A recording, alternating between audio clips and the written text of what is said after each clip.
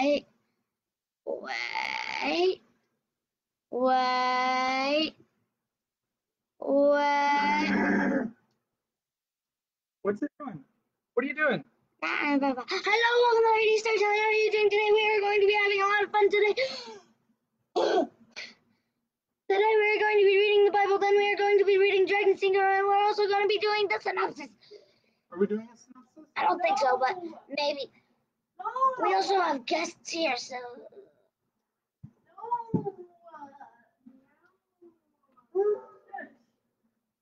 You don't get into it because you don't do it right. Hi. Hey, we are live, just so you know. This is the abuse that I get. Daniel. Okay, so we started it and then the chaos begins. That is the normal the normal daily So, we started the book of Mark yesterday. Are we going to be able to read Mark? Yeah. Okay. So this is Mark chapter 2. This is one of my 16 favorite chapters in the book of Mark, which is one of my four favorite gospels. All right.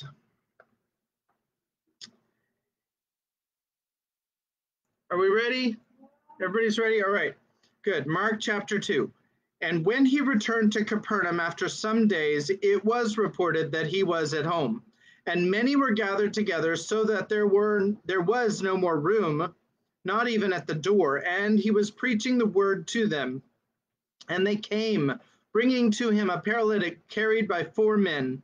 And when they could not get near him because of the crowd, they removed the roof above him. And when they had made an opening, they let down the bed on which the paralytic lay. And when Jesus saw their faith, he said to the paralytic, Son, your sins are forgiven. Now some of the scribes were sitting there, questioning in their hearts, Why does this man speak like that? He is blaspheming. Who can forgive sins but God alone? And immediately Jesus, perceiving in his spirit that they had that they thus questioned within themselves, said to them, Why do you question these things in your hearts? Which is easier to say to the paralytic, Your sins are forgiven, or to say, Rise, take up your bed, and walk?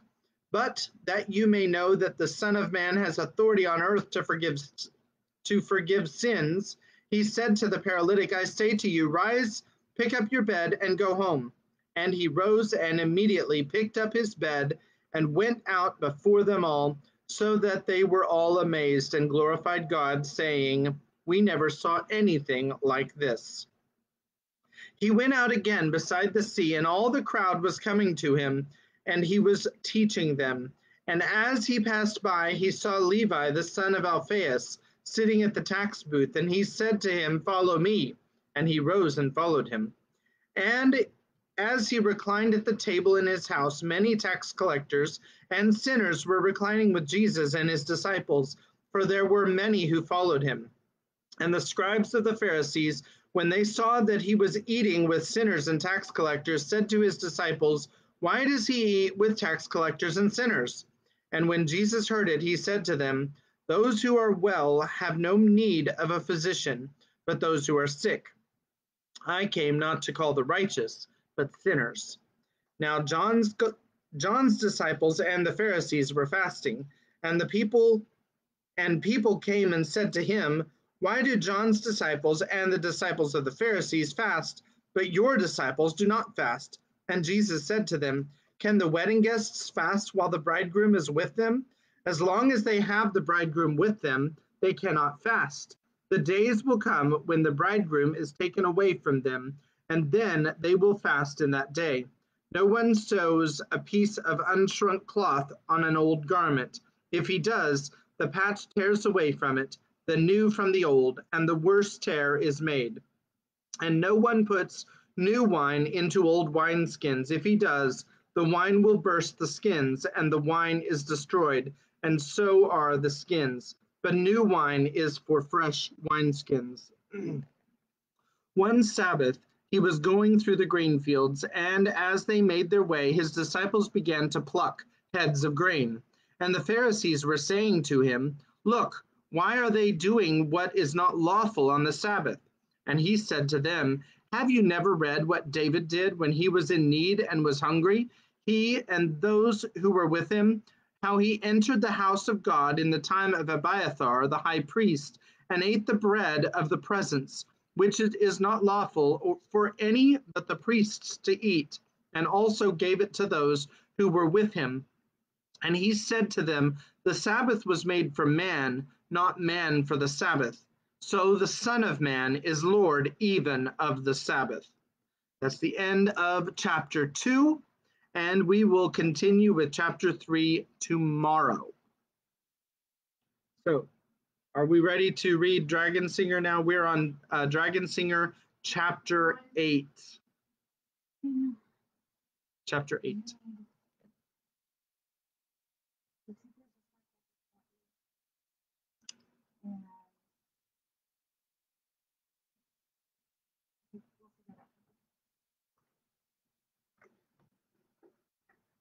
Hello.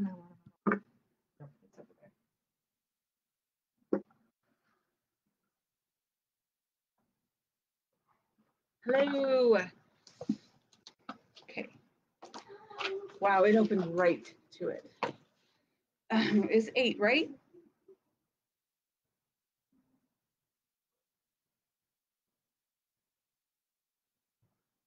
Thank you. Okay. Dragon Singer, Chapter 8. Gather, gather, it's a gather day. No work for us, and threads away. Stalls are building, squares swept clear. Gather all from far and near. Bring your marks and bring your wares. Bring your family, for there's food and drink and fun and song. The hold flag flies, so gather along. okay, hopefully I won't hit my foot on it like last night. What's wrong with the hold? Menolly asked Piemur the next morning as she, the boy, and Camo were feeding the fire lizards. Piemur kept craning his neck past the roofs of the Harper Hall to see the fire heights of Fort Hold. Nothing's wrong. I want to see if the gather flag's up. Gather flag? Menolly recalled that Sebell had mentioned a gather. Sure, it's spring and sunny. It's a it's a rest day. Thread's not due, so there ought to be a gather. Piemur regarded her a long moment, then his face screwed up into an incredulous expression. You mean you don't have gathers? Half Circle is isolated, Menolly replied defensively, and with thread falling. Yeah, I forgot that.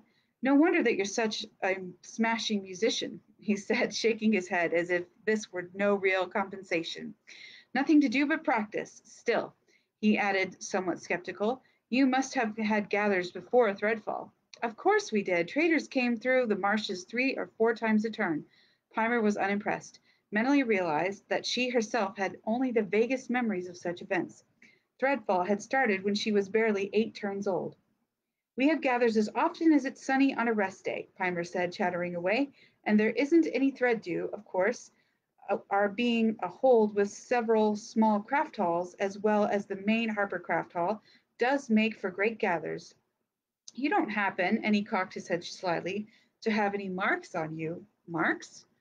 Piemur was thoroughly disgusted with her obtuseness. Marks! Marks! What you get in exchange for what you're selling at a gather. He reached into his pocket and pulled out four small white pieces of highly polished wood on which the numerals 32 had been incised on one side and on the other the mark of the Smithcraft. Only 30 seconds, but with four, I got an eighth and Smithcraft at that. Menolly had never actually seen marks before. All trading transactions had been carried out by her father, the sea holder. She was astonished that so young a boy as Piemur had possession of marks and said so. Oh, I sang, you know, even before I got apprentice. I'd always get a mark of some amount or other. My foster mother kept them for me until I came here. Piemur, Piemur wrinkled his nose in disgust. But you don't get paid for singing at gathers if you're a harper, and you have to do your turn anyway. I haven't anything to give the marksmen here. I keep trying, but Master Jerint won't put his seal on my pipes, So I have to figure out other ways of t- turning the odd. Hey, look, Menolly. And he grabbed her arm. The, there goes the flag. There'll be a gather. He went flying across the court as fast as he could to the apprentice dormitory. On the top of the fort hold fire heights, Menolly now saw the bright yellow pennant, and flapping below it on the mast, the red and black barrier streamer that apparently signaled a gather. She heard Piemur's cries echoing in the apprentice dormitory and the sounds of sleepers stirring in complaint. As if Piemur's sighting of the pennant had been a signal, the drudges, herded by Abuna and Silvina, entered the kitchen. The flag and pennant of, on the hold mast were duly noted, and the meal preparations were conducted in a cheerful humor. Menolly dispersed for her fare to the sunning and bathing, and finding Silvina in the kitchen with Abuna, offered to take breakfast to the Harper and his bronze, whom he'd named Zair. I told you, Abuna, with the, that with Menolly to help, two more fire lizards would be no problem, Silvina said, pushing the kitchen woman onto some other task as she smiled warmly at Menolly. Not that the Harper will be here much with his, nor Sebell either, she called to Abuna, who went off grumbling to herself. Long as she's lived in the Harper Hall, you'd think she'd be used to ch- change about.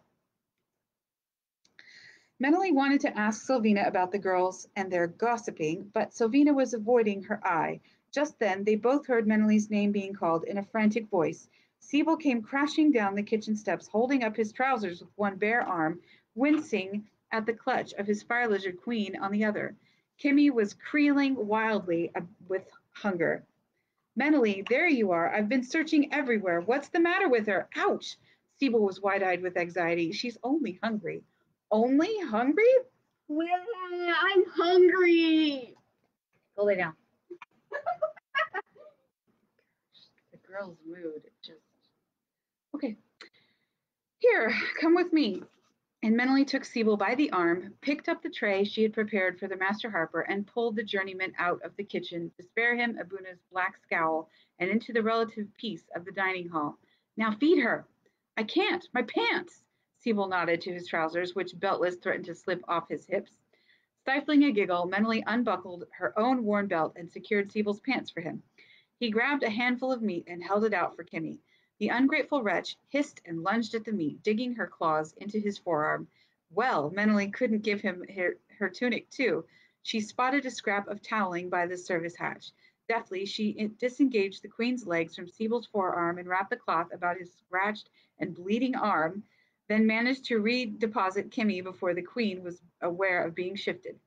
Oh, thank you, thank you, thank you, sighed Sebell, sinking to the nearest bench. And you had nine of these creatures to feed every day? He gave her a look of renewed respect. I don't know how you did it. I really don't.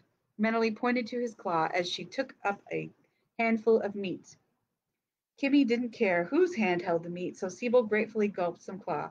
Menolly, another voice roared from the top of the stairs. Sir? Menolly dashed to the foot of the steps. He's making the most outlandish noises, the Harper yelled. Is he hung- hurt or just hungry? His eyes are flaming red. Here you are, said Silvina, appearing from the kitchen with a second tray of good of food for human and fire lizard. I thought we'd be hearing from him once Sebell appeared. Menolly could not keep from laughing with Silvina. She took the the steps two at a time without spilling so much as a drop of the klah or tumbling a glob of meat from the piled bowl. The Harper had taken time to dress, and he thought to wrap his arm against the needle sharp claws of his little bronze, but he looked not a whit less harried or distressed than Sebell. You're sure it's only hunger? asked Master Robinton, but his fire lizard's creeling abated with the first mouthful of meat. Robinton gestured Menolly towards his quarters, but the fire lizard, believing the food was being withdrawn, let out an indignant shriek and swatted at Menolly's hand. Here, here, eat, you greedy thing, said the Harper with great affection in his voice. Just don't wake everyone. It's rest day. Too late, remarked Dominic in an acid tone of voice, his sleeping rug pulled around him as he stood in the doorway of his room. Between you howling like an injured dragon, Sebell sounding like a flight of 'em, and these pesky beasts with tones that could bend metal, no one's going to enjoy a rest day. The gather flag is flying, the Harper said in a conciliatory way. He continued to feed Zair, and he and Menolly proceeded to his room. A gather? That's all I need. Dominic slammed his door. I trust there won't be a repetition of this. Said Master Morshal as the harper and Menolly came abreast of his room.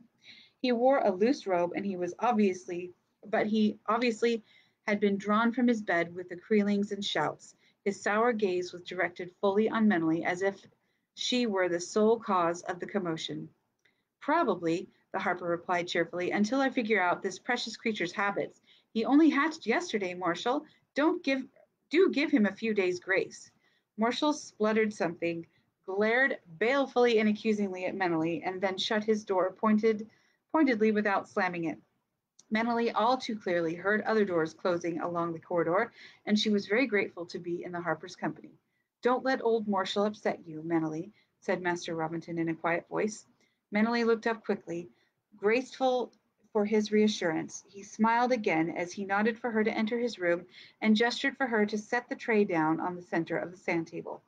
Fortunately, he went on, slouching in a chair, all the while supplying meat bits for Zair, you don't have to sit classes with Morshal. I don't? Robinton chuckled at the note of relief in her voice and then laughed again as Zair missed a morsel, creeling anxiously until the harper had retrieved it from the floor and deposited it neatly in the open mouth. No, you don't.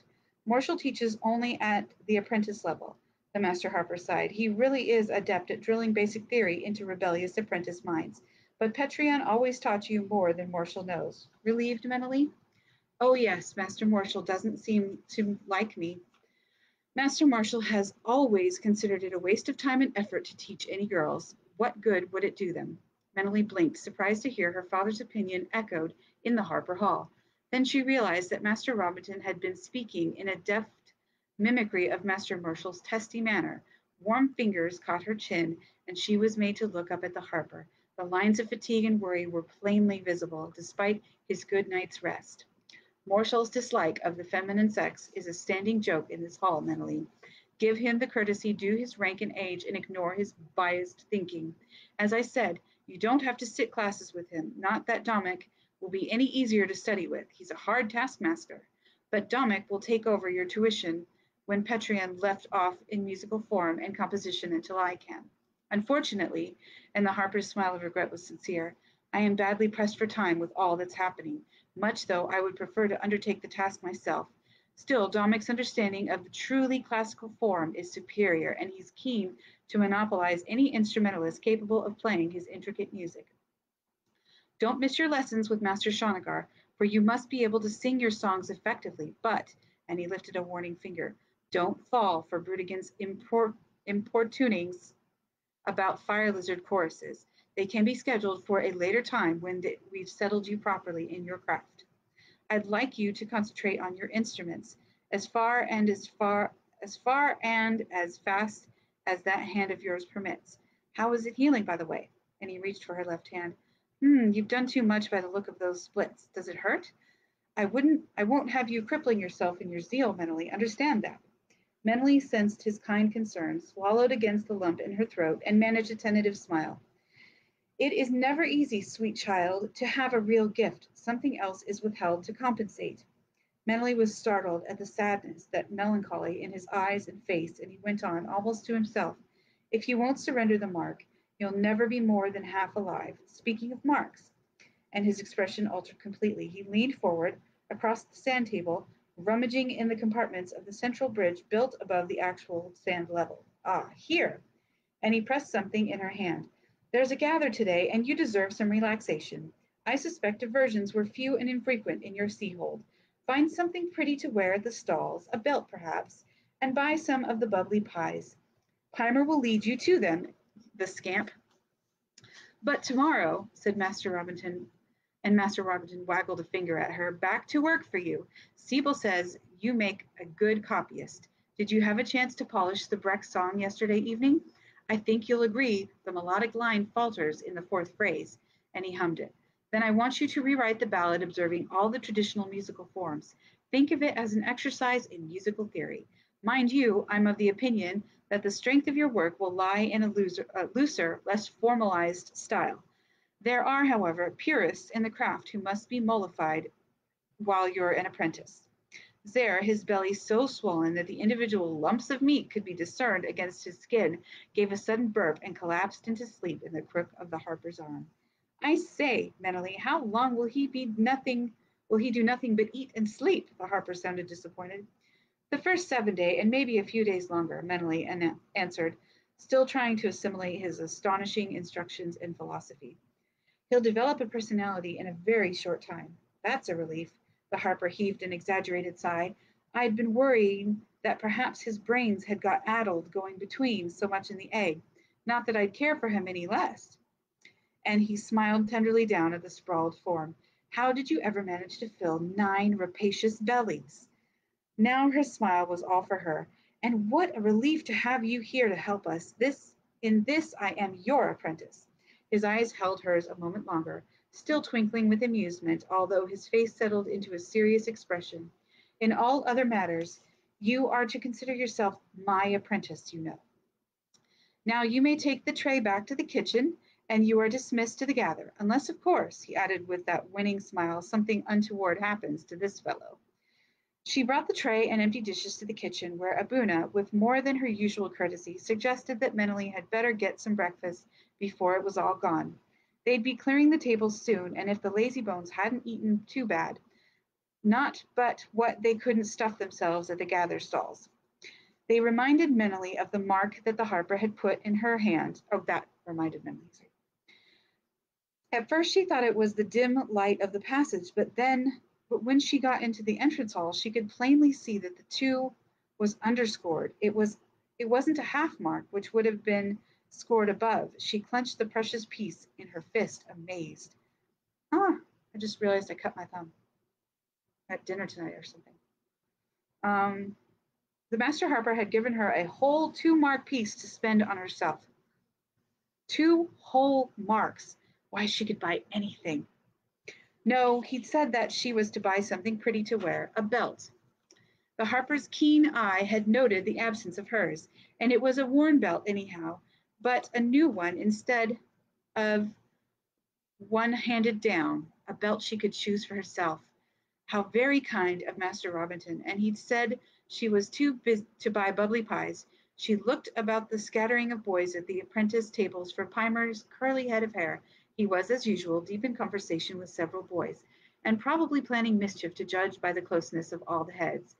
There were no masters at the circular table, and just a few journeymen at the oval ones clustered about Sebell, admiring Kimi, asleep on his arm. She couldn't give him away if she wanted to, Piemur was saying in a strident tone as Menolly approached his group. Someone must have jabbed him in the ribs because he glanced over his shoulder, and while he looked in no way abashed, it was obvious from the expression on the others that Menolly had been the she he'd met. Can you? he asked bluntly. Can I what? Give anyone else one of your fire lizards? No. I told you, Piemur pointed an accusing finger at Ranly, so Sebell couldn't have given Robinton the queen, could he, Menolly? But the Master Harper should have had the queen, said Ranly, rebellious and unconvinced. Sebell did offer the queen to Master Robinton when she hatched, Menolly said quickly, but it was too late. Impression had occurred, and that can't be altered. Well, just how did Sebell get his hands on the queen egg? Now Ranly's eyes hotly accused her of compl- complicity. Completely by accident, she said, mastering her irritation at such an outrageous suggestion. First, there really isn't any positive way to knowing which is the queen egg in a fire lizard clutch. Second, it isn't anyone's business but Master Robinton's and Sebell's. She'd just lay this divisive rumor into an early grave and repay a little of her great debt to both men. Third, I picked the two biggest eggs in the clutch for Master Robinton, and the boys nodded with approval, but they could both have been bronzes. Then she laughed. It all happened so fast. When the eggs started to hatch, no one bothered to see which pot was whose. Master Robinton and Sebell just grabbed, because both their pots rock, rocking fit to fall. The little bronze hatched first, right into Master Robinton's hands, and that was that, right then. He caught it just before it could fall from the hearthstone. The boys snatched in breath for that near catastrophe. And then there was Sebell with a queen in his hands. Then he tried to give her to the harper, but Zara had impressed, and so had Kimi. There's no way to change that. And I don't want to hear another word from any of you as to who got what and who shouldn't have. There's enough gossip flying about this hall. She wished that she could forget her worries about what those girls had told the Lord Holder. I kept trying to tell them, said Piemur, throwing his hands out, his eyes bright with injured innocence, because Menolly was now glaring at him. Then he clutched dramatically at his throat because his voice had squeaked on the last word. I've gone hoarse talking. Can't have the golden throat hoarse, can we? said Ranly sarcastically. Piemur was testing klah pots on the table to see if there was any that was still warm. Finding one, he poured two mugs, offering one to Menolly. He gurgled and he as he drowned or downed half a mug, rubbed his hand across his mouth, and then told her that she'd better eat quickly because they'd be clearly they'd be clearly any minute. Clearing any minute. Clearing any minute. Now, let's get back to the mark problem. This will be only the second gather of the turn, so I figure that they'll be sending in older journeymen from the Smithcraft Hall to keep an eye on the younger fellows and supervise the bargaining. And that journeyman is just likely to be my father's friend, Pergamol. And if it's Pergamol, then I can guarantee that you'll get top marks for your work. And he held up a silencing hand as Ranly opened his mouth to com- comment. If it isn't Pergamol, it'll be someone who knows him. And if it's just a young journeyman who's on to you, Piemur, Ranly asked in a caustic tone, then I blubber. Piemur dismissed this problem with all the disdain of the practiced dissembler. I'm just a lil feller, and I never have much, and I great tears welled up in his eyes, and his face was a mask of trusting and anxious innocence. If I may disturb this tactical meeting, said a different voice, and all the boys looked guiltily around to see Sebell, Fire Lizard cradled in his arm, for a few words with Menolly. She rose and followed the journeyman to the window. He pressed her rolled up belt in her in her hand, and he thanked her for saving his dignity that morning. Now, can I keep Kimi with me all the time? he asked, lightly stroking the fire lizard's folded wings. Even in her sleep, she responded to his touch with a sigh.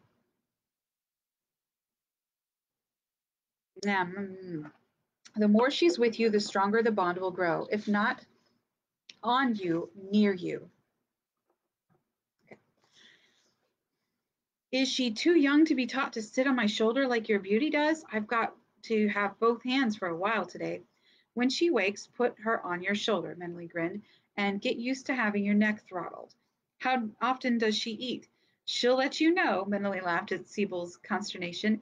At least you don't have to go catch it. Keep a few meat rolls in your belt pouch, although I'm sure Camo will always be ready to chop chop for you anytime.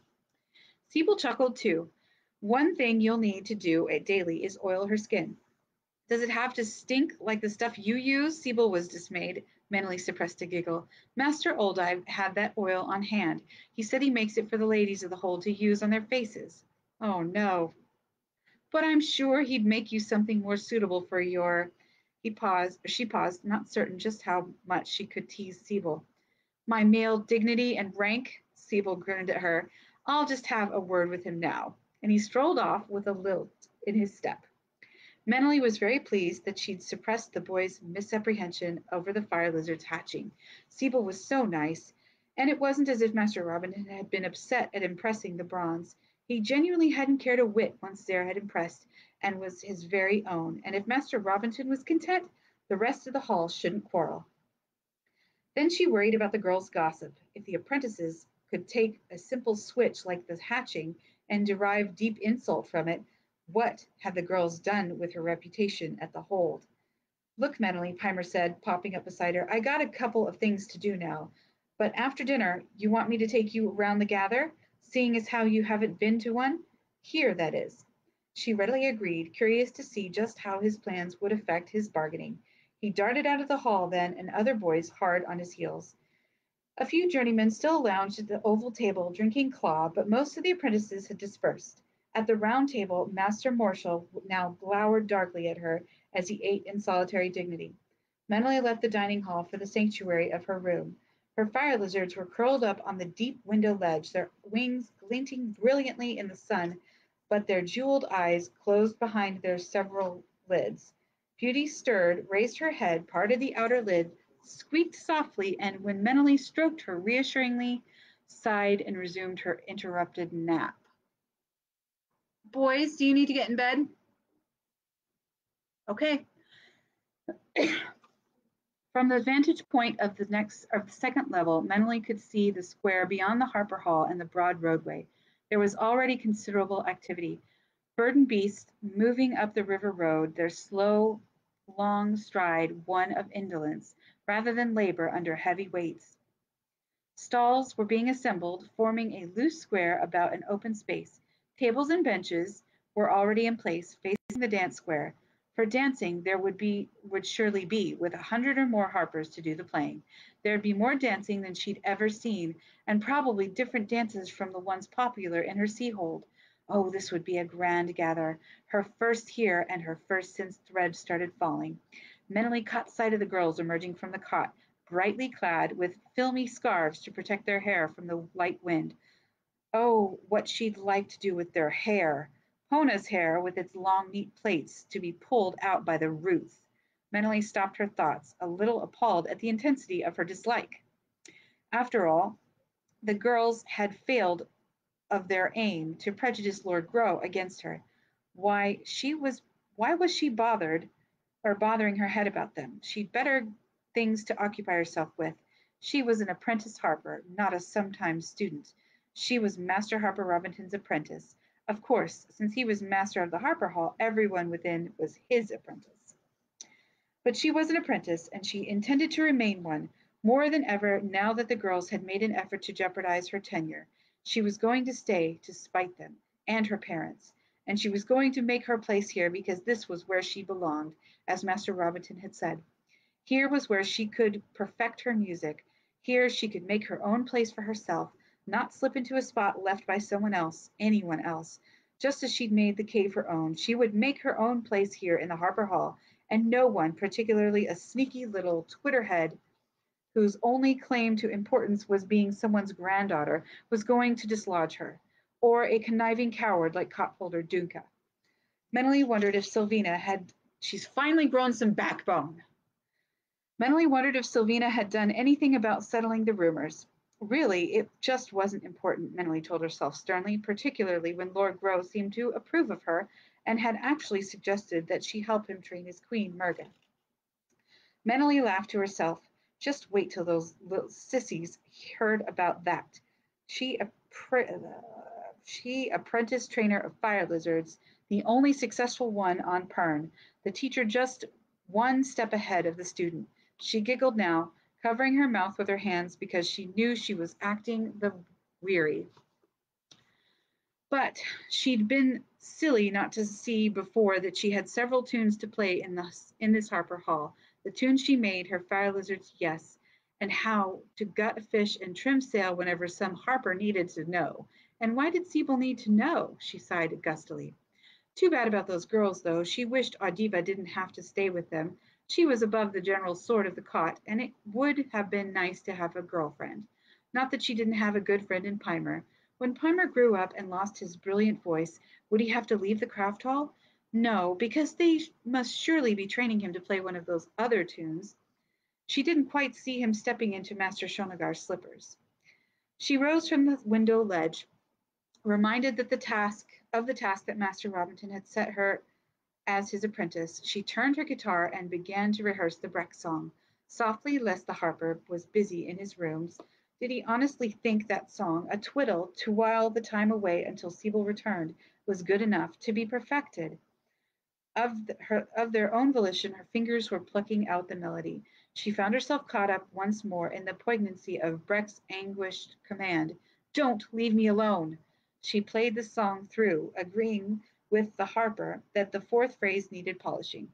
Ah, yes, if she dropped to the fifth, it would intensify the phrase and complement the chord. The tocsin rang for mealtime finally, and shouts and laughter broke her concentration.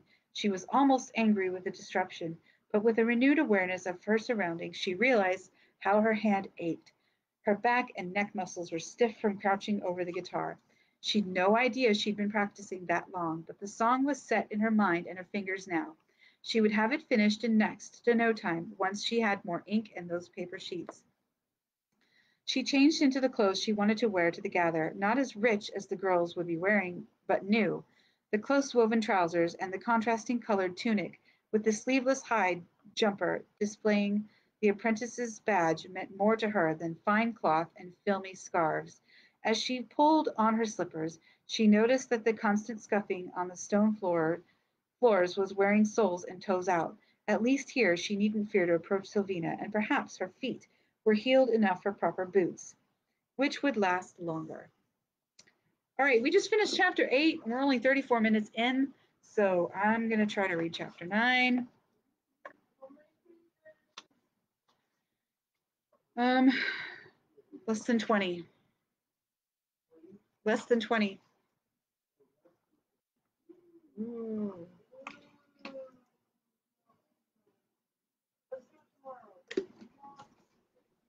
All right.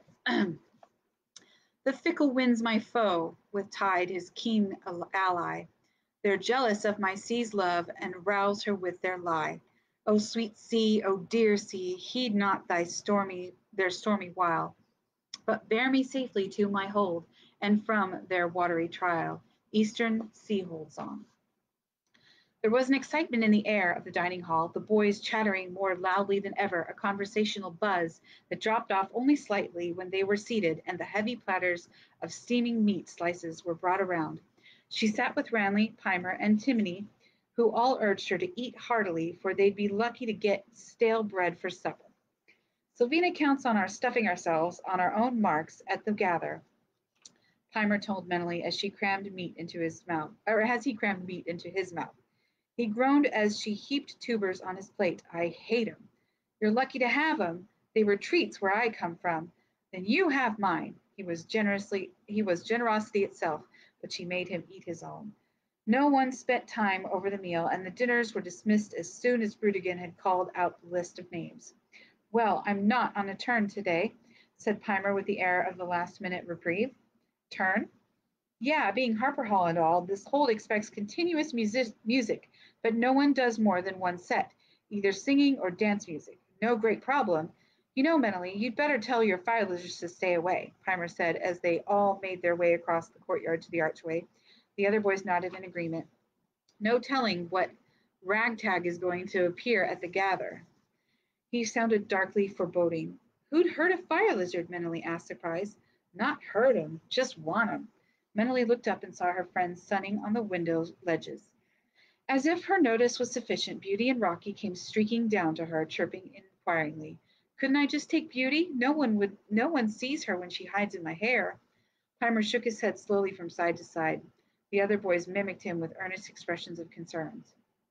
We, and he meant the Harper's, know about you and having nine. Where there are some dimwits coming today who wouldn't understand and you're wearing an apprentice badge. Apprentices don't own nothing or count for anything. They're the lowest of the low and have to obey any journeyman or master or even a senior apprentice in any other craft. Shells, you know how beauty acts when someone tries to rank you. You can't have beauty taking a swipe at an honorable journeyman or a craft master now, can you? Or someone from the hold? He jerked his thumb towards the cliffside as he dropped his voice to keep the mere possibility of such discourtesies from exalted ears. That would get Master Robinton in trouble, considering the gossip work already done in the hold. Menolly would as soon remain anonymous to them. It could, Ranly and Timley nodded in solemn accord. How do you manage to stay out of trouble, Piemur? Menolly asked. Because I watch my step at a gather. One thing to cut up in the hall when it's all Harper's, but. Hey, Piemur! They all turned and saw Broly and another apprentice whom Menolly did, did not know running towards them. Brawley had a brightly painted tambourine and the other a handsomely polished tenor pipe. Hold on, sorry. Okay, there's no comments. Like, I can't even tell if anybody's watching. everybody's here in my, everybody's here in my family room that listens. Okay. All right. Thought we might have missed you, Piemur, the boy gasped. Here's my pipe, and Master Jerint stamped it, and Brawley's tambourine. Will you take him to the marksman now? Sure, and it's my friend's friend, Pergamal, like I told you it would be. Piemur took charge of the instruments, and with a quick with a quirk of a smile at Menolly, led the way towards the loosely arranged stalls on the perimeter of the gathered square. For the first time, Menolly realized how many people lived in this seat in this hold area she would have liked to watch a bit of, on the sidelines to get used to such a throng of people, but grabbing her hand, Piemur led her right into the midst. She nearly piled into Piemur when he came to a sudden complete stop in the space between two booths. He glanced warningly over his shoulder and Menolly noticed that he had the instruments behind his back as he composed his face into an expression of wistful ingenuousness. A tanner journeyman was bargaining with the well-dressed marksman and in the stall, his Smithcraft badge gleaming with a gold thread in the design.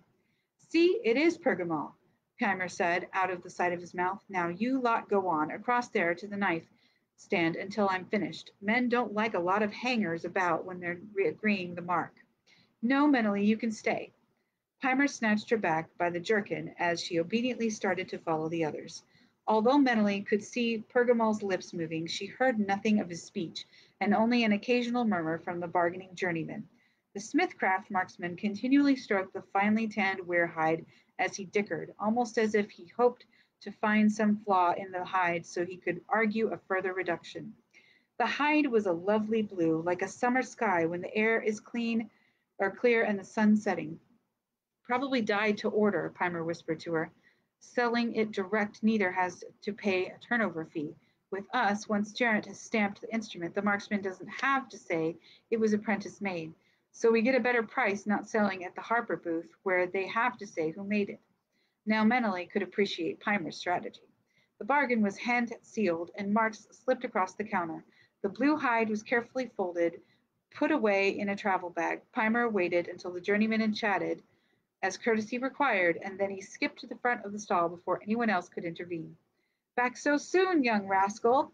Well, let, let's have a look at what you've brought. Hmm, stamped as you said. Pergamol examined more than the stamp of the tambourine Menolly noticed and the Smithcrafter's eyes slid to hers as he pinged the stretch hide of the tambourine with his finger and raised his eyebrows at the sweet sound tinkle of the little cymbals under the rim. So, how much were you looking to receive for it? Four marks, said Piemur with the attitude that he was being emin- eminently reasonable. Four marks, Pergamol feigned astonishment, and the interchange of bargaining began in earnest. Menolly was delighted and more than a little impressed by Piemur's shrewdness when the final figure of three and a half marks was hand-clasped. Piemur had pointed out that for a journeyman-made tambourine, four marks was not unreasonable. Pergamol did not have to say who made it, and he saved a 30-second on turnover. Pergamol replied that he had the carriage of the tambourine. Piemur discounted that since Pergamol might very well sell the item here at the Gather, since he could price it under the Harpercraft stall. Pergamol replied that he had to make more than a few splintered, splinters profit for his journey, his effort, and the rent of the stall from the Lord Holder. Piemur suggested that he consider the fine polish of the wood, listen again to the sweet jingle of the best quality metal, thinly hammered, just the sort of an instrument a lady to, for a lady to use and a hide tanned evenly, no rough patches or stains. Menolly realized that, for all the extreme seriousness with which the two dickered, it was a game played according to certain rules, which Piemur must have learned at his foster mother's knee. The bargaining for the pipe went most more smartly since Pergamol had noticed a pair of small holders waiting discreetly beyond the stall. But the bargaining was done and hand sealed. Piemur shaking his head at Pergamol's stinginess and sighing mightily as he pocketed the marks. Looking so dejected that Menolly was concerned, the boy motioned for her to follow him to the spot where the others waited. Halfway there, Piemur let out a sigh of relief, and his face broke into the broadest of his happy grins. His step took on a jauntier bounce, and his shoulders straightened. Told you I could get a fair deal out of Pergamol. You did? Menolly was confused. Sure did. Three and a half for the tambourine and three for the pipe. Top. That's top marks. The boy crowded. The boys crowded around him, and Piemur recounted his success with many winks and chuckles. For his efforts, he got a quarter of a mark from each of the boys, telling Menolly that that was an improvement for them for the full half mark the Harper Craft charged for selling. Come on, Menolly, let's gad about. Piemur said, grabbing her by the arm and tugging her back into the stream of slowly moving people. I can smell the pies from here, he said when he had eluded the others. All we have to do is follow our noses. Pies? Master Robinton had mentioned bubbling pies. I don't mind treating you, since today is your first gather. Here, he added hastily, looking to see if he'd offended her, but I'm not buying for those bottomless pits. We just finished dinner. Bargaining's hungry work. He licked his lips in anticipation. And I feel like something sweet, bubbling hot with berry juice. Just you wait. We'll duck through here. He maneuvered her through the crowd, going across the moving traffic in an oblique line until they reached a wide break in the square. There they could see down to the river and the meadow where the traders' beasts were grazing, cobbled. People were moving up all the roads, arriving from the outlying plain and mountain holds. Their dress tunics and shirts made bright accents to the fresh green of the spring fields. The sun shone brilliantly over all. It was a glorious day, thought Menolly, a marvelous day for a gather. Piemur grabbed her hand, pulling her faster. They can't have sold all the pies, she said, laughing. No, but they'll get cold, and I like 'em hot, bubbling. And so the confections were, carried from an oven in the baker's hold on a thick, long-handled tray the berry juices spilling darkly over the sides of the delicately browned crust that glistened with crystallized sweet. Ho, you're out early, are you, Piemur? Let me see your marks first. Piemur, with a show of great reluctance, dragged out a 30-second bit and showed it to the, to the skeptic. That'll buy you six pies. Six? Is that all? Piemur's face reflected utter despair. This is all me and my dorm mates could raise. His voice went up in a piteous note. Don't give me that old wheeze, Piemur, said the baker with a derisive snort. You know you eat 'em all yourself. You wouldn't treat your mates to as much as a sniff. Master Palom, master me nothing, Piemur. You know my rank same as I know yours. It's six pies for the thirty-second, or stop wasting my time. The journeyman, for that was the badge on his tunic, was slipping six pies off the tray as he spoke. Who's your long friend here? That dorm mate always you're always talking about? She's Menolly. Menolly, the baker looked up in surprise. The girl who wrote the song about the fire lizards? A seventh pie was set aside the uh, set beside the others. Menolly fumbled in her pocket for her two-mark piece. Have a pie for welcome, Menolly, and any time you have a spare egg that needs a warm home, he let out he let the sentence peter out and gave her a broad wink and a broader smile so she'd know he was joking. Menolly, Piemur grabbed her wrist, staring at the two marker, his eyes round with surprise. Where'd you get that? Master Robinton gave it to me this morning. He said I'm to buy a belt and some bubbly pies. So please, journeyman, I'd like to pay for them. No way, Piemur was flatly, flatly indignant, knocking her extended hand away. I said it was my treat because this is your first gather, and I know that's the first mark piece you've ever had. Don't you go wasting it on me. He had half turned from the baker and was giving Menolly a one-eyed wink.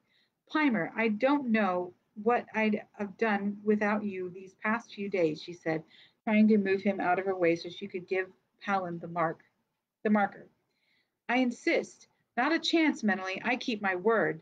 Then put your money where your mouth is, Piemur, said Palom. You're blocking my counter. And he indicated the hulking figure of Camo bearing down on them. Camo, where have you been, Camo? cried Piemur. He looked all over for you before, oh, sorry. We looked all over for you before we started for the pies. Here's yours, Camo. Pies? And Camo came forward, huge hands outstretched, his thick lips moist. He wore a fresh tunic, his face was shining clean, and his straggling crop of hair had been brushed flat. He had evidently homed in on the sweet aroma of the pies as easily as Piemur. Yes, bubbly pies, just like I promised you, Camo. Piemur passed him two pies. Well, now, you wasn't having me on, was you, about feeding your mates? Although, how come Menolly and Camo? Here's your money, said Piemur with some haughtiness, thrusting his 30-second piece into Palom's hand. I trust your pies will live up to standard. Menolly gaped because there were now nine small bubbly pies on the counter front. Three for you, Camo. Piemur handed him a third. Now don't burn your mouth. Three for you, Menolly. and the pastry was warm enough to sting Menolly's scarred palm and three for me. Thank you, Palom. It's good of you to be generous. I'll make sure everyone knows your pies. And despite the heat of the crust, Piemur bit deeply into the pastry. The dark purple juices dribbling down his chin are just as good as ever. And he said the last on a sigh of contentment. Then more briskly, Come on, you two. He waved to the baker, who stared after them before he uttered a bark of laughter. See you later, Palom. Sorry, need a drink. We got nine pies for the price of six, she said when they'd got far enough away from the stall. Sure, and I'll get nine again when I go back because he'll think I'm sharing with you and Camo again. That's the best deal I've pulled on him yet. You mean, pretty smart of you to flash that two marker about. He wouldn't have been able to change it this early in the afternoon. I'll have to try that angle again next gather. The large marker, I mean. Piemur Menolly was appalled at his duplicity. Hmm? His expression over the rim of the pie was unperturbed. Good, aren't they? Yes, but you're outrageous, the way you bargain. What's wrong with it? Everyone has fun, especially this early in the season. Later on, they get bored, and even being small and looking sorrowful doesn't help me. Oh, Camo.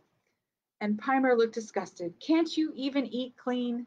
Pie's good, Camo said, stuffed all three pies into his mouth. His tunic was now stained with berry juices.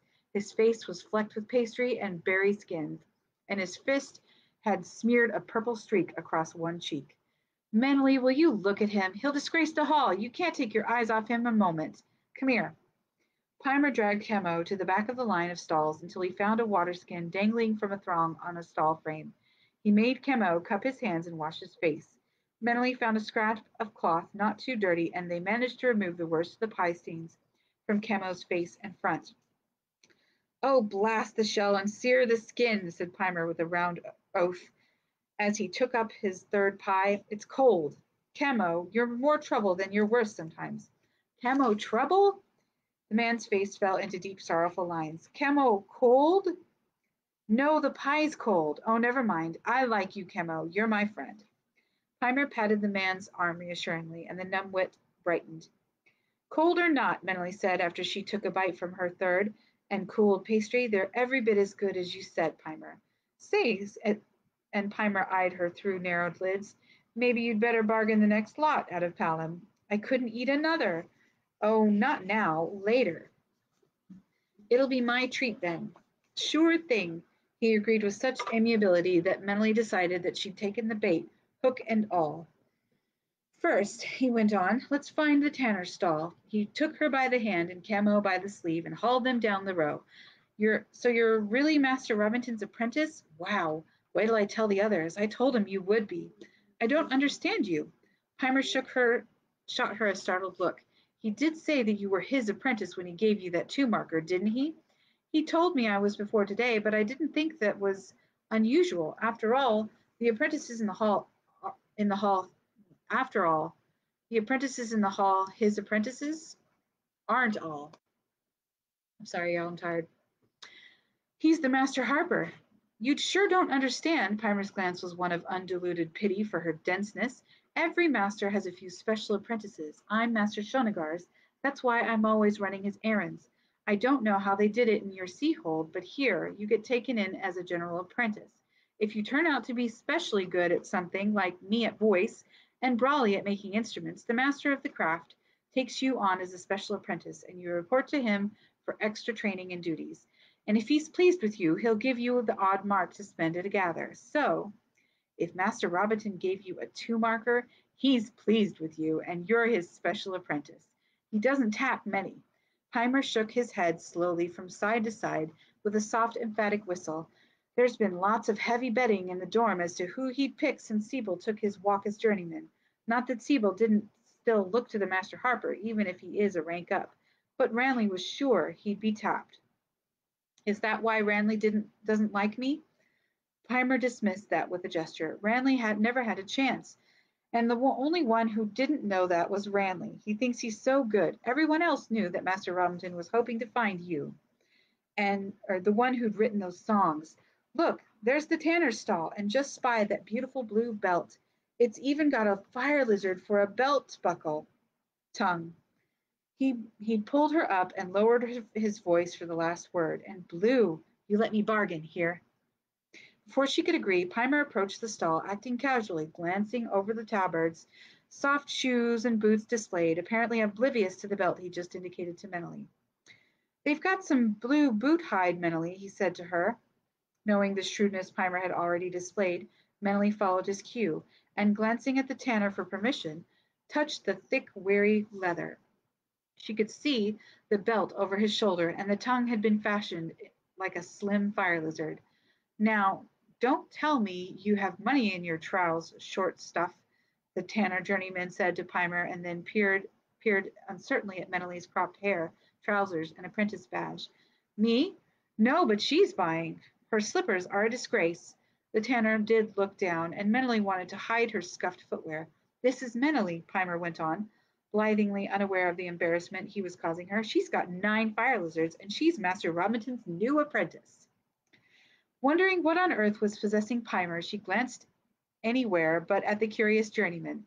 She caught a glimpse of bright, filmy materials and richly decorated tunics. She steadied her gaze and saw Pona, her arm through a tall lad's. He was wearing the yellow of Fort Hold and the shoulder knot of the Lord Holder's family. Behind Pona came Brilia, Amania, and Audiva, each of the girls escorted by a well-dressed youth fosterlings of Lord Groves to judge by the different hold colors of and rank knots. Here, Menolly, what do you think of this hide? asked Piemur. And be sure she has the marks for it, said Pona, pausing. Her voice was too smooth to be insulting, and yet her manner gave her words an offensive ring. For I'm certain she's only wasting your time and will finger your wares dirty, whereas I want to commission you to make me some soft shoes for the summer. She held up a well-filled waist pouch. She's got two marks, Piemur said, turning to challenge Pona, his eyes flashing with anger. If she does, she stole it, replied Pona, abandoning her indolent manner. She's nothing on her she'd nothing on her when she was still permitted to live in the cot. Stolen? Menolly felt herself tensing with fury at the total unexpected accusation. Stolen nothing, Piemur replied haughtily. Master Robinton gave it to her this morning. I claim insult from you, Pona, cried Menolly, her hand on her belt knife. Bennis, she's threatening me, Pona cried, clinging to her escort's arm. Now see here, apprentice girl, you can't insult a lady of the holders. You just hand over the, the mark that mark piece, said Bennis, gesturing peremptorily to Menolly. Menolly, don't take insult. Audiva pushed her way Audiva pushed her way past the others and grabbed her arm, restraining her. It's what she wants. Pona gave me too many insults, Audiva. Menolly, you mustn't. But the mark, Bennis, Pona said in a hiss, make her pay for threatening me. Out of the way, Bennis, whoever you are, said Menolly. Pona has to answer for the insults she gives Lady Holder or not. Menolly moved sideways, countering Pona's attempt to evade her. Bennis, she can be dangerous. I told you so. Pona's voice went up in a frightened, breathless squeak. You mustn't, Menolly, Audiva said, catching Menolly's sleeve. She wants you to. Piemur, help me. Don't you dare, Audiva. Pona's voice was now edged with angry malice, or I'll settle you good as well. Come, girl, the money. Hand it over, and we'll say no more about attempted insult, said Bennis in a patronizing tone. Pona's insulted Menolly, cried Piemur indignantly, just because you're a. Close your mouth. Bennis wasted no courtesies on Piemur.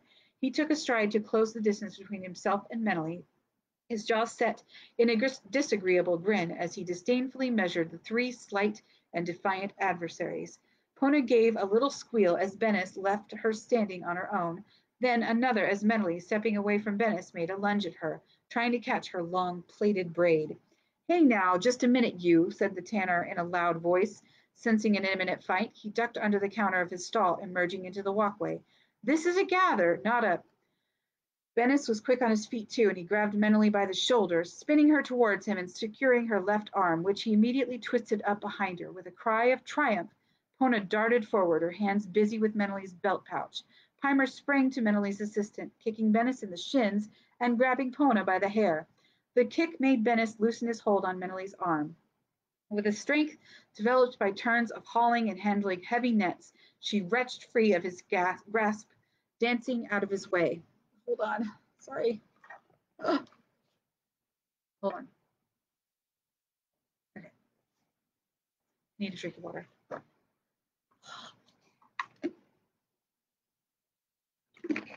Mouth is all dry.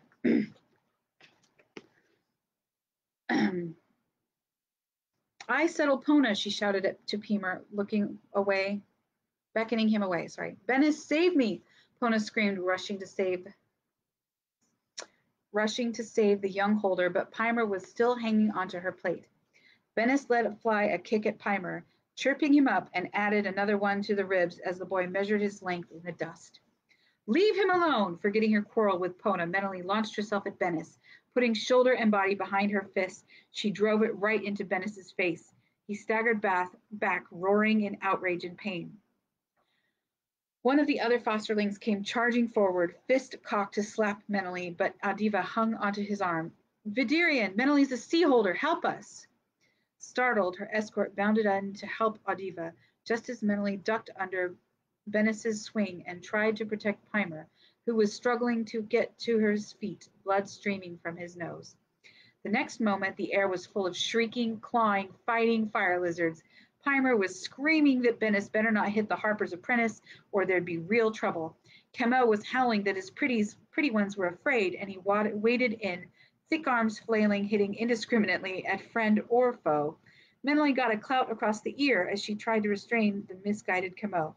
Shells, it's the hall's dummy. Scatter, get her. Knock him down. Got her, Menolly. The fire lizards were not hampered by Camo's inability to distinguish friend and foe, they went for Pona, Brilia, Amania, Bennis, and the other lads. Menolly, trying to catch her breath, realized that things were completely out of hand and desperately tried to call off the fire lizards. The girls were scattering, screaming, vainly trying to cover their heads, hair, and eyes. Attacked from above, so did the fosterlings. Be still, everyone! The bellow was stentorian enough to penetrate shriek, hollow, and battle cries, and stern enough to command instant obedience. You there, hang on to Camo. Douse him with that skin of water. But you, Tanner, help them with Camo. Sit on him. Knock his feet out from under him if necessary. Menolly, control your fire lizards. This is a gather, not a brawl. The harper strode into the midst of the melee, yanking a fosterling to his feet, spinning one of the girls to the arms of the folk who had converged on the scene, giving a bloody-nosed Piemur a hand up from the dust. The Master Harper's actions were somewhat hampered by the distressed squeals of the little bronze fire lizard clinging tightly to his left arm, but there was little doubt of the Master's fury. A silence broken by the gulping sobs of Pona and Brilia left or held attrackers attacked and witnesses alike. Now, said the Harper, his voice controlled, although his eyes were flashing with anger, just what has been going on here? It was her! Pona staggered a step towards Master Robinton, jabbing her finger at Menolly and struggling to control her sobs. Long scratches marred her cheeks. Her headscarf was torn and her hair pulled from its plaits. She's always causing trouble. Sir, we were minding our own business, said Piemur indignantly, which was buying a belt that you said Menolly ought to have, when Pona here, that little sneak, tripped me as we were passing, and then her heinous beast attacked all of us. They've done it before. I have witnesses. She stopped mid gulp, arrested by the look on the Harper's face. Lady Pona, he said in an all too gentle voice, you are overwrought. Brilia, take the child back to Junka. The excitement of a gather appears to be too much for such a fragile spirit. Amania, I think you ought to help Brilia. Though his voice expressed concern for their well-being, it was obvious that the Harper was disciplining the three girls who bore evidence of the unfriendly attentions of the fire lizards. Now he turned to the hold fosterlings. Bennis, his left eye already bruising, his lip cut, his hair tousled and forehead bearing fire lizard marks, was straightening his tunic and brushing dust from his sleeves and trousers.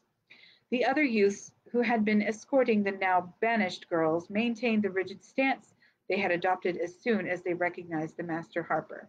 Lord Bennis, Master Harper, Bennis continued to adjust his garments, awarding the briefest of glances to the Harper. I'm glad you know my rank, said Robinton, smiling slightly. Menolly had been soothing Beauty and Rocky, who had refused to leave when she sent the others away.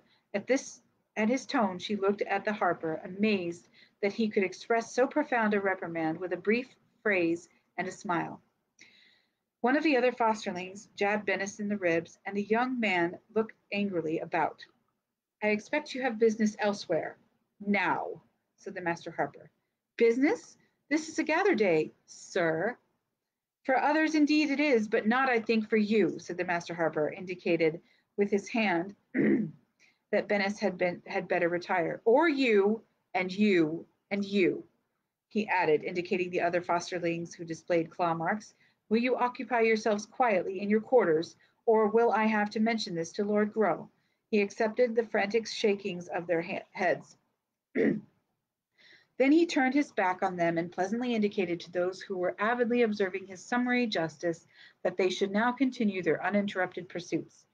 He walked to where Camo was still being restrained by three large journeymen, blubbering noisily about his pretties being hurt and struggling to free himself. The pretties are not hurt, Camo, not hurt. See, Menolly has the pretties. The Harper's voice soothed the wretched man as he gestured for Menolly to come forward into Camo's line of sight. Pretty's not hurt. No, Camo, Brudegan, who else is about? The Harper asked his journeyman. Several other Harpers obediently moved against the tide of the dispersing crowd. Camo had better go back to the hall, here. And the Harper reached into his pouch and passed Brudegan a mark piece. Buy him a lot of those bubbly pies on your way back. That'll help settle him. The crowd had melted away. The master harper, stroking his gradually quieting fire lizard, turned back to the small group still clustered together. He gestured them to the unoccupied space between the nearest stalls. Now, let me hear the sequence of events, please, he said, but his voice no longer held that chilling note of displeasure. It wasn't Menolly's fault, said Piemur, batting at Audiva's hands as she tried to staunch the flow from his nose with the berry-stained cloth used earlier on Camo. We were looking at belts. He turned to the tanner for confirmation. I don't know about belts, Master Robinton, but they weren't causing any trouble when the blonde girl, Lady Pona, started pulling rank on your apprentice, made a nasty accusation about the girl having money she oughtn't to have. A look of dismay crossed the Harper's face. You didn't lose the mark in the fuss, did you, Menolly? He scuffed he, he scuffed around the trampled area with his boot toe. I don't have many two mark pieces, you know. The tanner stifled a bark of laughter, and Harper sighed with almost comic relief as Menolly solemnly displayed the cause of the trouble.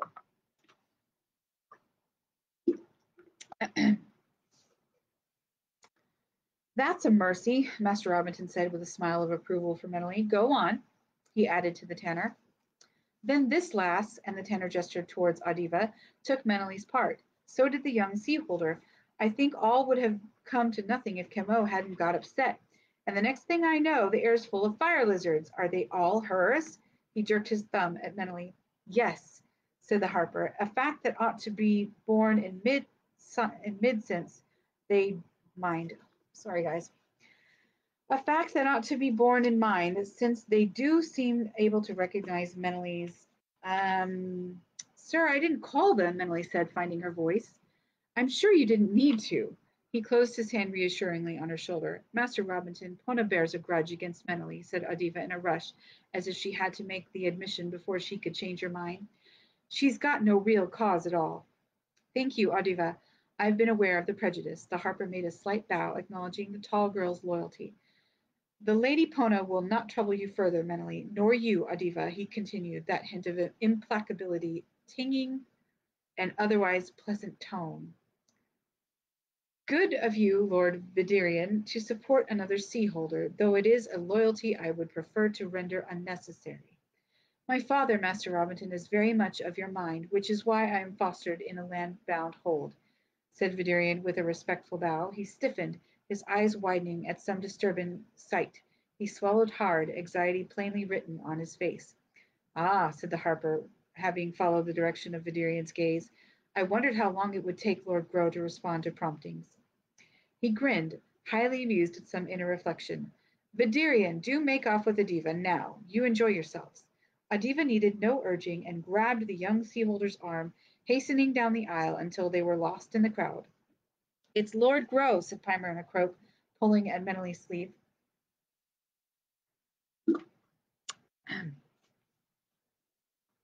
I'm sorry.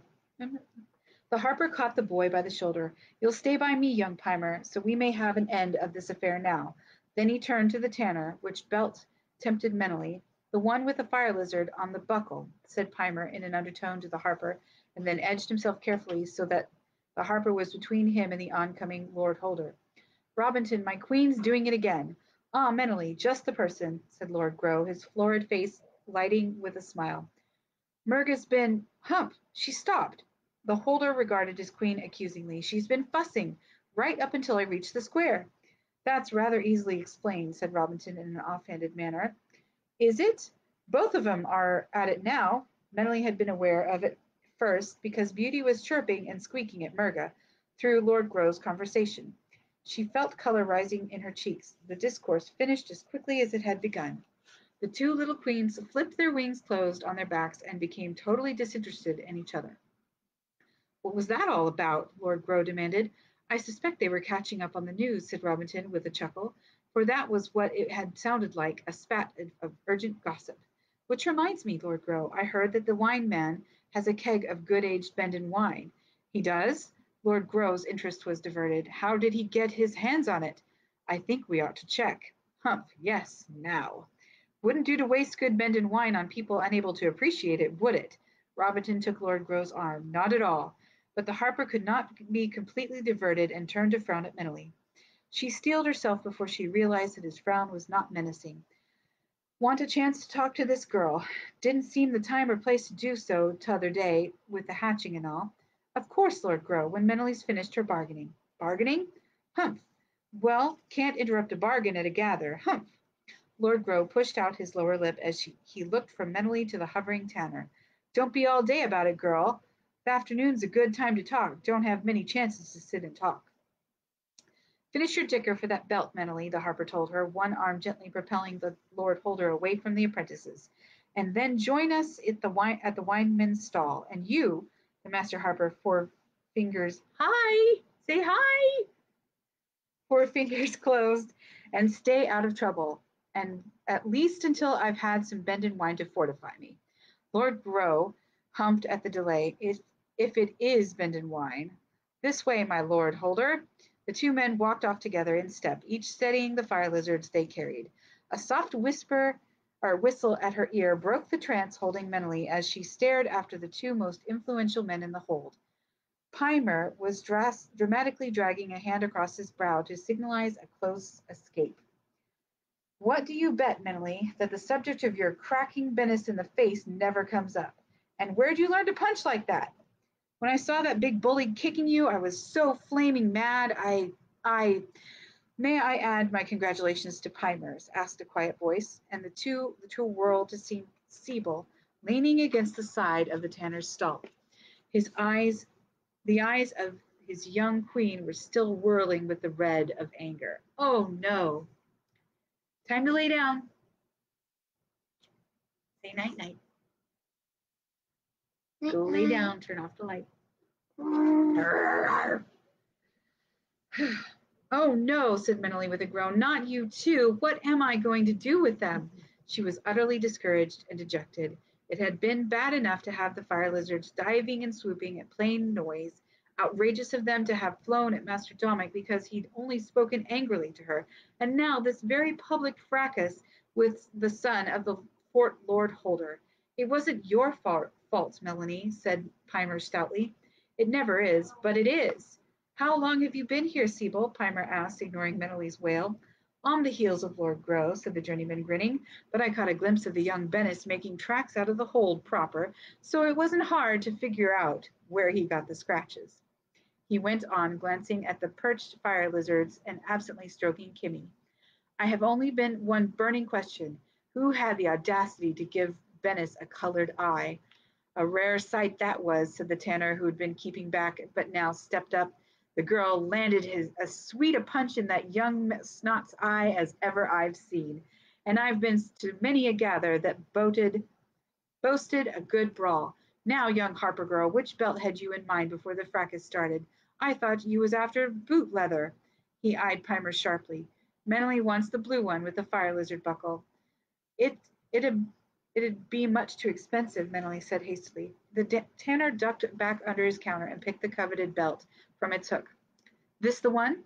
Menolly looked at it wistfully. Sebell took it from the tanner's hands, examined it, gave it a tug to see if there were flaws uh, or if the hide was too thin to wear well. Ah.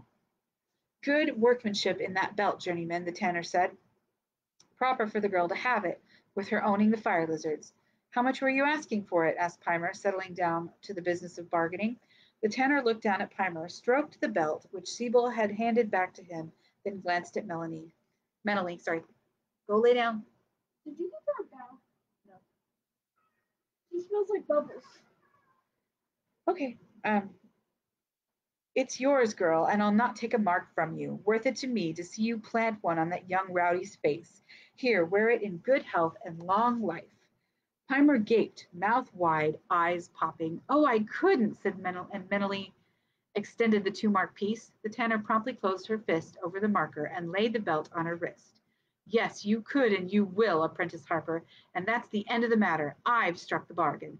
He pumped her hand in the traditional courtesy.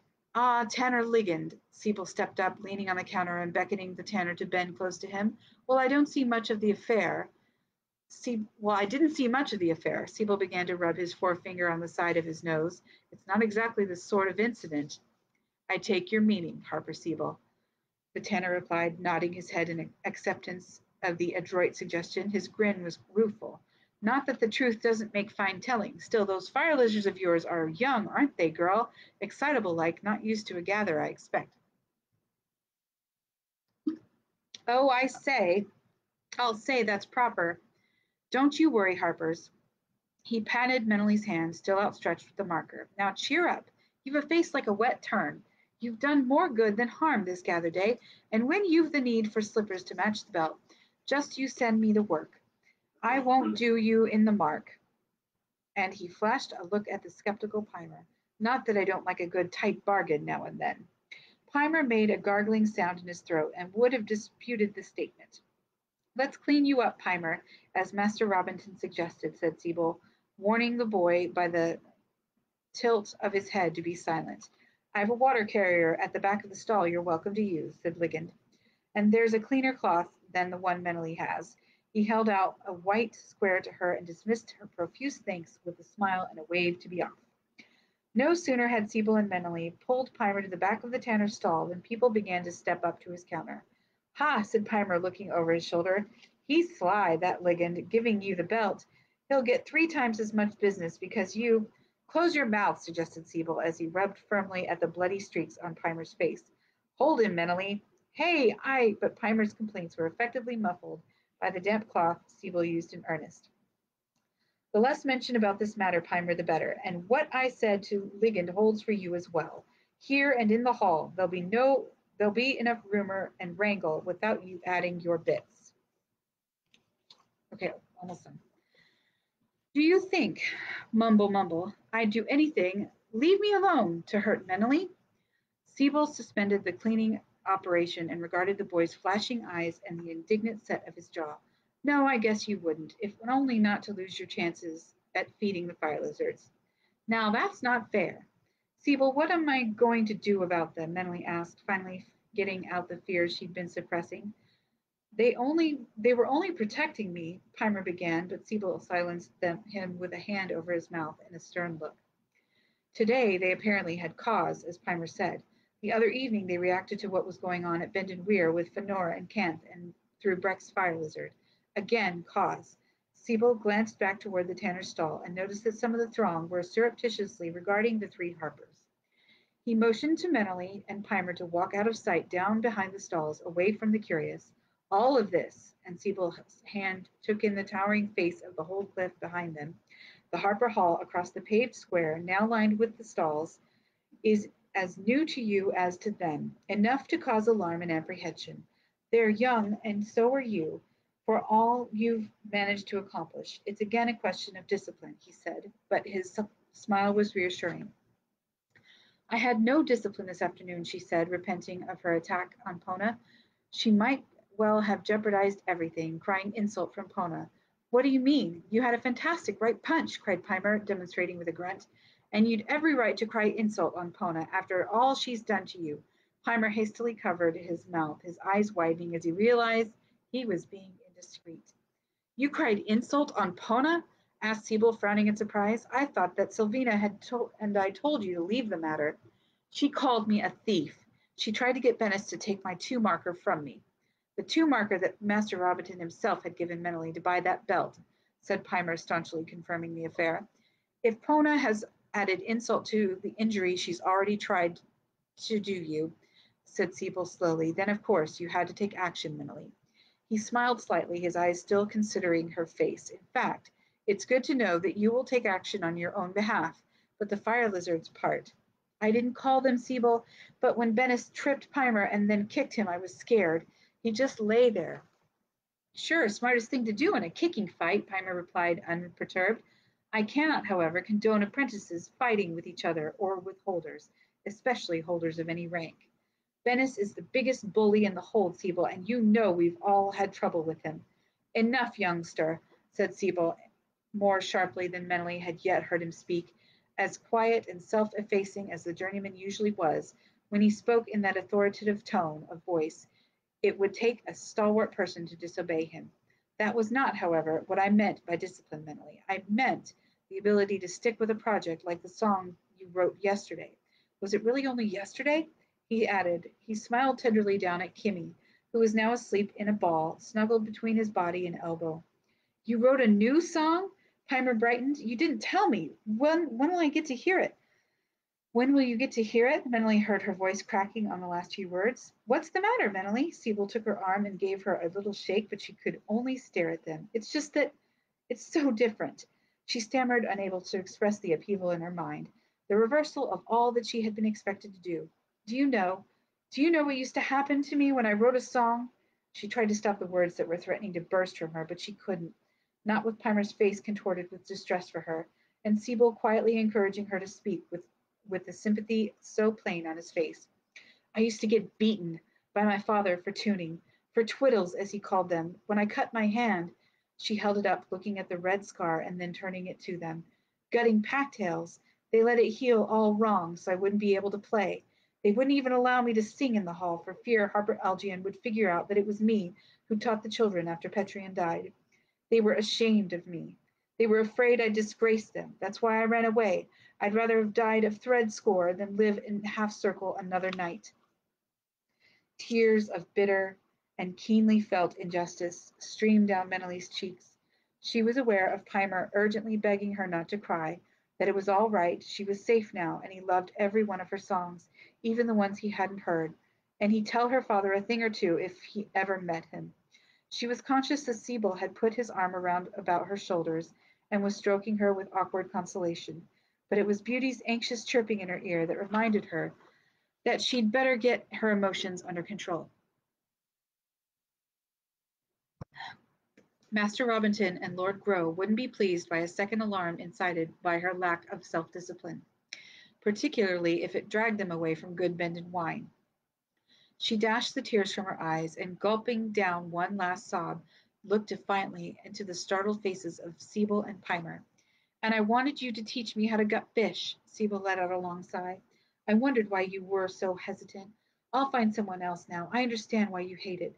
Oh, I want to teach you, Sebell. I want to do everything I can. If it's gutting fish or teaching you to sail, I might, I may be only a girl, but I'm going to be the best harper in the entire hall. Easy, Menolly, said Sebell, laughing at her excess. I believe you. I do too, said Piemur in a low, intense tone of reassurance. I never knew you'd had that kind of hold life. Didn't anyone ever listen to your songs? Petiron did, but after he died. I can see now why you've why it's been so hard for you Menolly to appreciate how important your songs are after what you've been through, and Sebell gently squeezed her left hand. It would be hard to believe in yourself. Promise me, Menolly to believe from now on. Your songs are very important to the harper, to the hall, and to me. Master Domick's music is brilliant, but yours appeals to everyone, holder and crafter, landsman and seaman. Your songs deal with subjects like the fire lizard and Brekke's call to and Canth that will help change the sort of set attitudes that nearly killed you in your home hold. There's something wrong in not appreciating one's own special abilities, my girl. Find your own limitations, yes, but don't limit yourself with false modesty.